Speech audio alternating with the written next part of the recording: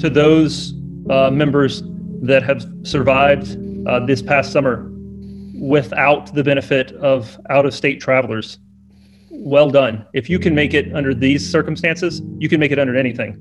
I would say that we learned more about being flexible than anything else this year. You know, it made everybody just stop and go, what do we have? What can we do with it? And let's just push forward and and see what we can do. So in a situation like this where we have to get creative with solutions, figure out new ways to do things, you know, I cannot think of a better industry to be successful at that than ours everything in this in the tourism industry is built on relationships. I mean, we had so many combined marketing opportunities and, and so many new partnerships, and I met so many new people. Matsu CV has done, done a great job of um, updating us with member updates and as well as many of the DMOs across the state. We as an organization invested heavily in an in-state marketing campaign. Alaskans have single-handedly uh, saved my business for this summer.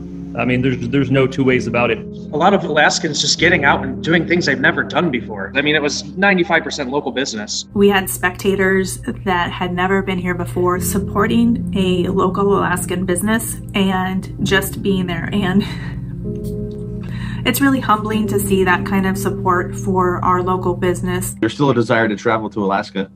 There's that pent up demand. Whether or not it's boat, you know, cruises to day hikes to biking companies, the interest in coming to Alaska remains. We've got all the ingredients, and, and the people are, are going to still want them, and uh, and we'll be there to deliver. We can definitely provide a quality um, experience for people. You have a little more space. You encourage people to get outside, um, be a little bit more independent.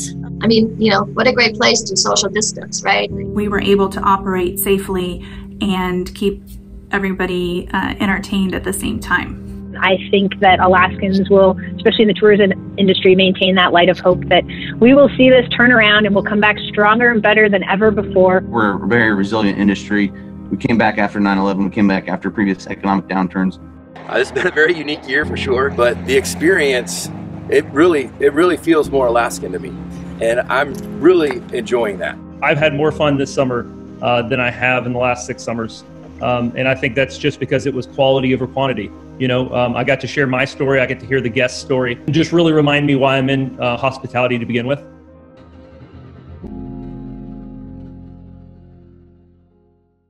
As a member of Matsu CVB's board of directors, I want to take a moment to say thank you. Thank you. Thank you for your support. We know this has been a terribly difficult year, but we are dedicated to providing you with the resources you need to recover from this crisis stronger than ever. Please don't hesitate to reach out during these challenging times. We're here to serve you. We're, We're here, here to, to, serve, serve you. you. We're proud to be part of Alaska's tourism industry and a key player in its full recovery. We know that we are going to get through this by working together and supporting each other. We're here for you. We're here for you. Thank you. Thank you. Thank you. Thank, Thank you, you for, for your, your support. support.